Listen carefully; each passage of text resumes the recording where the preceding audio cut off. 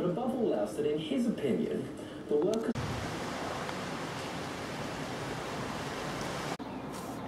Hello viewers, Rodalco here. This is an uh, old British Reyrolle protection relay from a substation. It was previously used uh, just to protect an 11 kV feeder. So as you can see these are electromechanical relays. Got one on the red phase, one on the blue face and one on the earth fault protection. So uh, I'm gonna take the cover off to make it a bit clearer how these things work. They're actually very cool relays and uh, they work on similar principle as an uh, electromechanical kilowatt hour meter. At the rear of the relay there's the wiring. Uh, we're to concentrate on one segment of it because I'm uh, planning to use this as a protection relay on my high current experiments so it will trip the contactor when I'm blowing shit up instead of blowing circuit breakers. I concentrate here on uh, one segment of the relay that's overcurrent in this example. Not sure if you can see but it got contacts S1, S1, S2, S2, current ML. So that is your current supply from your CT, 5 ampere. Normally red is the tripping contact K1, K3 so that will trip um, the tripping coil of the circuit breaker and orange wires will usually use SCADA. So get some close-ups of the labels. had to push the wires out of the way but this uh, S1 S1 uh, string of contacts you can see the S2 contacts, SCADA contacts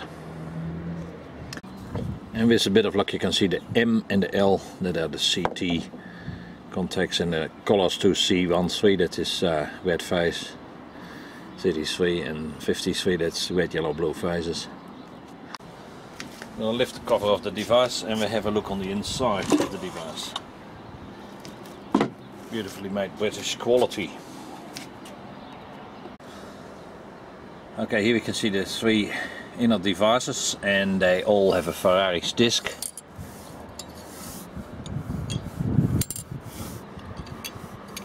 And I go a bit more in detail. I'll set that one up quite high so it has to roll for quite a while. So these devices are actually uh, can be set for a time delay etc try to get a good view on this device without um, getting shade. So firstly with Duke overcurrents this is on the red phase and on the blue phase in this particular situation.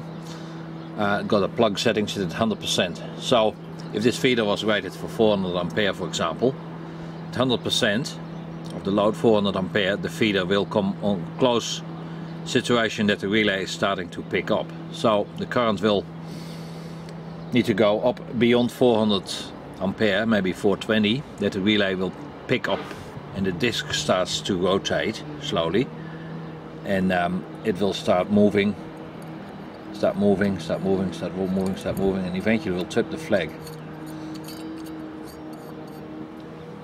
The relay it's on an angle so it's not fully happy. Here we have the overcurrent plug setting device set at 100%. So in case of a 400 ampere feeder at 100% um, the relay comes very close and starting to pick up excess current and will trip the particular feeder. These plugs can be set in different settings. They come out like this. They can go on a different setting. That means that all the relay settings are completely changed now. That could go 50%. Um, so you have a bit of flexibility with the CTs. So 405, you set it at 50, it could technically do 200 ampere and it will trip the relay. I'll put it back where it belongs.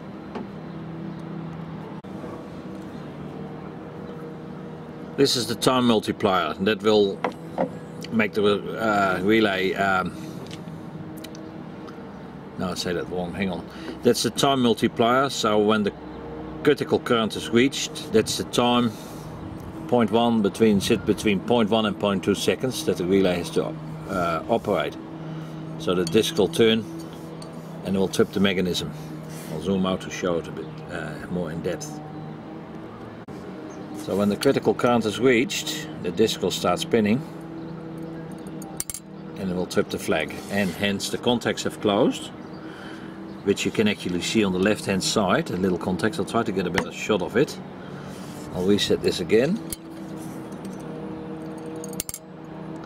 This lever I'm touching with my hand is actually geared to the disc and will operate the contacts.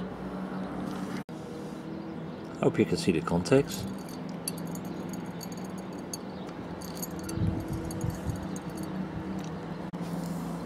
There we have the device which operates the lever and the flag is dropped out.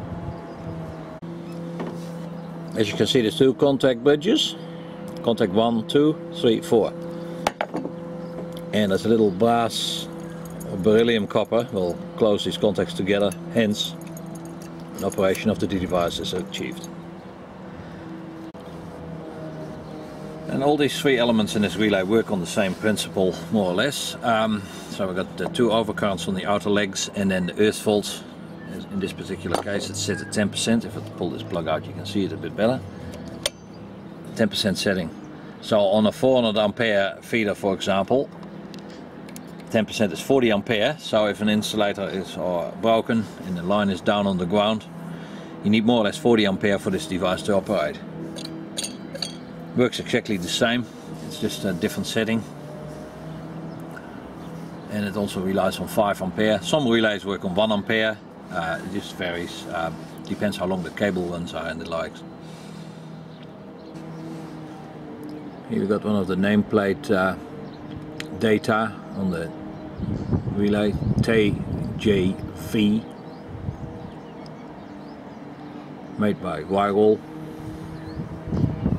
hope the camera picks it up and there's not too much wind noise. Beautifully made devices now these days uh, a lot of these relays are replaced with uh, numerical devices that are just electronic and you program them as a computer and you tell them what to do one second, point one second, point five second, whatever and the device will operate uh, reliability wise, these relays uh, will go fine for 30 to 40 years, no problems. And um, yeah, electronic stuff, you never know, electronics can go suspect. I'll make a part two on this device. Um, thanks for watching. Uh, this is Rodalco, and uh, yes, yeah, stay tuned. There's a comparison uh, between a relay and a kilowatt hour meter. The disc in a kilowatt hour meter is driven by a current coil and a voltage coil. Uh, protection relay is driven by two current coils set in uh, a phase shift to create a rotation on the disc. And uh, the disc is held back by a uh, spring. I hope it's visible here. I sent this uh, setting at 0.4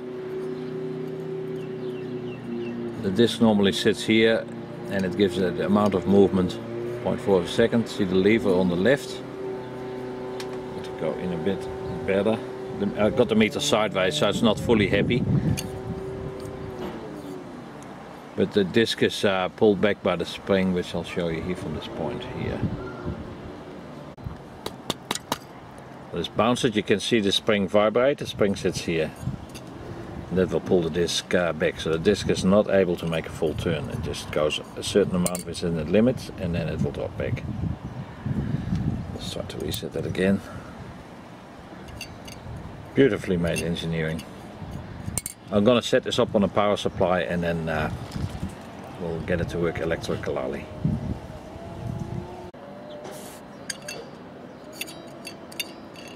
you can see the spring from the top.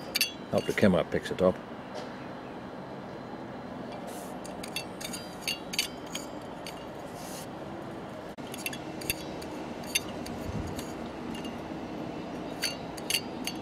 great quality.